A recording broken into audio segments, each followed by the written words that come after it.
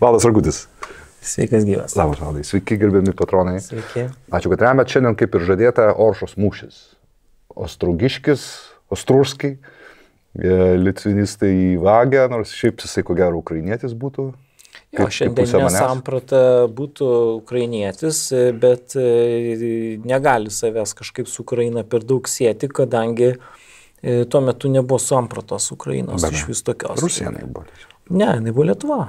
Nu, okei, okay, jo, kaip Jo, politiškai jinai taip. buvo Lietuva ir netgi, sakykime, tas e, Ostrogo pati pilis, jinai nėra toli Baltarusijos Ukrainos sienos. Nu, ta prasme, realiai kažkur per vidurį ir, mhm. ir kaip tas žmogus save suprato, tai yra, tuo jis ir yra labai svarbus Lietuvos istorijai, kad tai yra idėjinis tačiatikis, idėjinis Lietuvos, e, Lietuvos didikas, reiškia. Tai čia yra labai esminis dalykas ir jisai dėl to ir buvo daugam pavyzdys ir šiandien, sakykime, va ta Litų, kur Lit, Litpol, kur brigas, ne, čia kur yra ta Brigada, tokia brigada ir ten, kur Liublinė yra štabas, tai jo vardu vadinasi ta brigada ir, ir ten yra mūsų e, lietuvio e, gabalus tas bareljefas pastatytas, reiškia taip, nes jis labai, Labai tinka, gražu, labai labai gražu. tinka jo. Iš tikrųjų, jis buvo idėjinis tačiatikis ir man jisai yra įdomus dėl to, kad tai yra alternatyva tam totoriškai tokiai Rusijai. Reiškia, ir mes va, tą turim labai dažnai pagalvoti, kad e, turim sukurti tam, tai tokiai despotiškai valstybei kažkokią tai tokią atsvarą. Litovskai Rusija.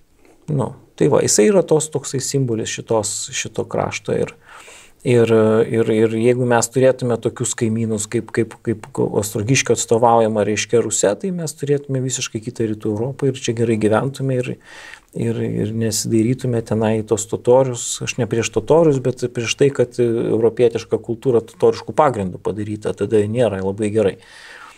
Tai va, bet čia yra šio, šie laikai, o dabar jeigu mes kalbėtume apie, apie, tą, apie tos karus, mes praeitą kartą kalbėjom, bet vis tik Oršos mūšis yra toks išskirtinis, tai jis iš tikrųjų ir buvo išskirtinis. Mm. Tai buvo toks įvykis, Trumpai kuris... gal kontekstą. Mes kalbėjome prie- prieš savaitę apie Jo, nu tai- 16 amžių. Jo, tai čia yra, yra toks daiktas, kad 1512 metais e, iš tikrųjų čia pridėjus e, ranką be jokios abejonės Mykolai Glinskiui, Mhm. Totorijų.